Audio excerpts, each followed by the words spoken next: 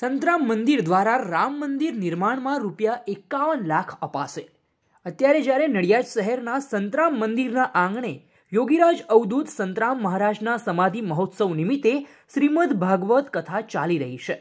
આ પ્રસંગે મંદિર દ્વારા રૂપિયા એકાવન લાખ રામ મંદિરના નિર્માણમાં આપવાની જાહેરાત કરવામાં આવી હતી, જેને હાજર ભક્તોએ સહર સ્વીકારી લીધી હતી.